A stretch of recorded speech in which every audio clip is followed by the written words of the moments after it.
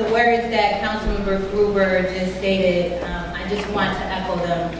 Because when you have young people in your community that is doing the right thing, that ran into the fire to save five people, we want to make sure that we recognize them and that we honor them for their service. I actually had the chance to meet Nate Jr. a number of years ago, and he showed me the picture uh, from our office. Him and his mom came probably around 2014.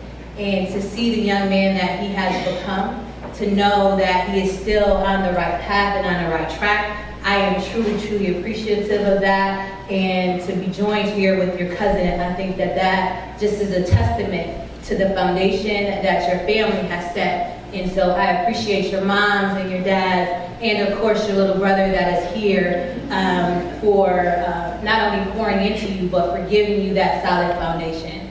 And on behalf of the citizens of Rochester, I want to read this proclamation.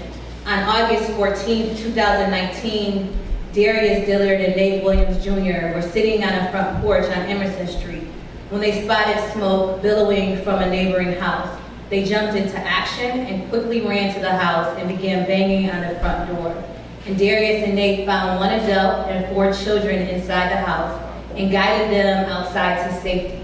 Darius and Nate made an attempt to extinguish the flame, but as the house filled with smoke, they realized they could lose consciousness and made their own exit.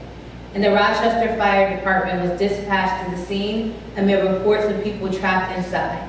Upon arrival, the first crews were told that everyone had exited safely. Crews discovered the source of the fire in the second floor bedroom and brought the fire under control in 18 minutes. The cause was determined to be electrical in nature.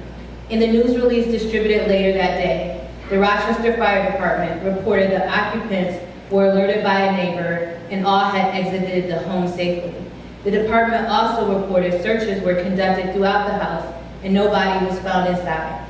No civilian or firefighters were injured in this report.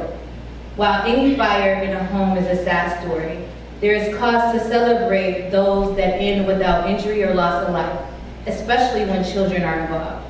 Were, were it not for the heroic acts of Darius and Nate, the story of August 14th fire on Emerson Street may well have risen from sad to tragic. For that, the city of Rochester owes them a tremendous debt of gratitude. Now therefore, we Lovely A. Warren, Mayor of the City of Rochester, and City Council President Loretta C. Scott, do hereby proclaim August 20th, 2019 to be Darius Dillard and Nate Williams Jr. Day.